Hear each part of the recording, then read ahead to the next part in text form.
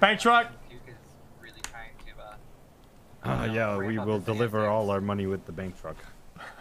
Ah, yes. Yeah, we have a uh, we have a scheduled uh, daily delivery with the bank trucks. Uh, the profits are so high, we have to, uh, you know. I've been chosen actually. I've been cho. Oh fuck. I mean fudge. I mean oh wow. Um, we have a, a heavy load to deliver. Um, espresso. Yeah, M- Mr. Paul, I don't think you have to worry about your language in a place like this. We all know we all Yeah. have Right. extra things that come out of our mouth.